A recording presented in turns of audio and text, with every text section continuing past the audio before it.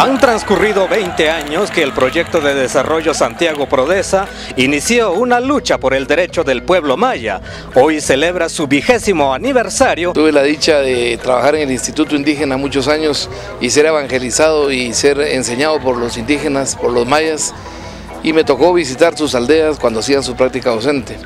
Ahí tuve contacto con la pobreza, con la discriminación, con estos problemas seculares de Guatemala y de verdad motivaron mi corazón y mi mente para crear este proyecto junto con el hermano Sebastián, que tuvo desde el principio una opción muy clara en favor de los pueblos mayas de Guatemala, especialmente en el campo de la educación y el desarrollo. Realmente estos 20 años de Prodesa han significado ofrecer una alternativa para que la sociedad guatemalteca y especialmente el pueblo maya pueda conocer mejor sus derechos y enfrentar una sociedad colonial, una sociedad que excluye a, las grandes, a las grandes mayorías y ofrecer algunos procesos de educación y de desarrollo local para que cada vez más personas estén conscientes de que es necesario construir un nuevo país, construir otra nación donde haya mayor equidad, mayor justicia.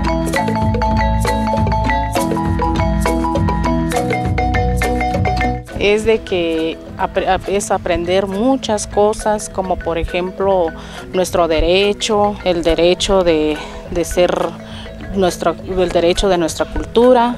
Me ha ayudado muchísimo porque aún también tengo procesos sobre ya preparación de, de mujeres que han sido bastante marginadas y que nunca habían podido hablar al nivel este público ellas se escondían o se escapaban diciendo no podemos, no, si nosotros las mujeres no tenemos derecho de hablar, simplemente somos de la casa. Bajo el proceso de formación que impulsa Prodesa, también han pasado algunas personalidades que hoy ocupan cargos públicos de trascendencia. Tenemos por ejemplo el caso del viceministro de, Educación Intercultural Bilingüe, don Manuel Salazar, que es una persona reconocida también tenemos a Rosalvira Zapeta, eh, diputada al Congreso, una mujer maya que fue trabajadora de, también de Prodesa.